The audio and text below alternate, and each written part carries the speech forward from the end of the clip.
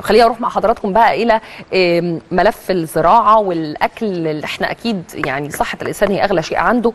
وفي الحقيقة ده خبر إيجابي جدا وأكيد إحنا بنكون سعداء لما بيكون في رقابة مشددة وفي متابعة لصحه المواطن وكل ما هو مرتبط بيها وزارة الزراعة النهارده.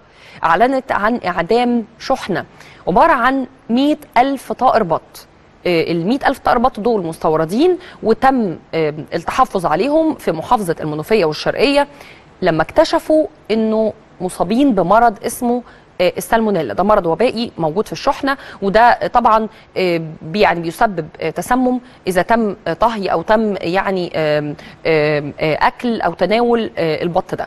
آه، الحقيقة إنه آه، كمان آه، المرض ده اللي تم آه، اكتشافه من الأمراض الخطيرة جدا وللسبب ده طبعا بيكون في دايما لجنة من وزارة الزراعة آه، بتقوم بأخذ عينات أثناء فترة الحجر في المحاجر البيطرية وبيتم ارسالها لمعامل الصحة آه، وبحوث صحة الحيوان واللي بتفحص وبتقول إذا كانت مصابة ولا لأ في الحالة دي قالت إن هي مصابة. وده بعد طبعا يعني إجراء الفحوص اللازمة واتخاذ كل الإجراءات آه، البيطرية آه، الكاملة. وبالفعل تم إعدام الشحنة وتوفير مدافن صحية للإعدام.